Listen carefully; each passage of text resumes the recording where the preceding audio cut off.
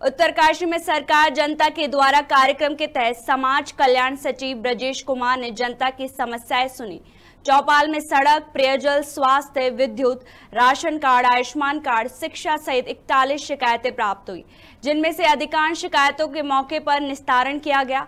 कुछ मामले जिलाधिकारी व शासन को संदर्भित किए गए। संत ने ग्रामीणों के द्वारा चौपाल में उठाए गए मामलों के निस्तारण के लिए अधिकारियों को समयबद्ध कार्रवाई करने के निर्देश दिए। उत्तरकाशी से विनीत कसवाल की रिपोर्ट।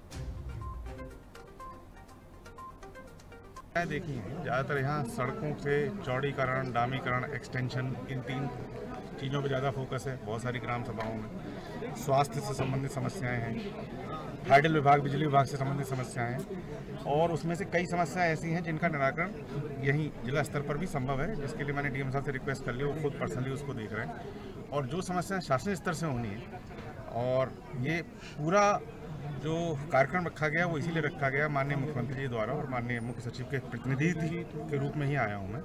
और आप लोगों की बातें मैंने पूरी सुन ली समझ ली हैं। उन समस्याओं को मैं हर हाल में जो मेरे विभाग से संबंधित हैं, वो जो मेरे स्तर से होनी है, वो मेरे स्तर से हो जाएँगी।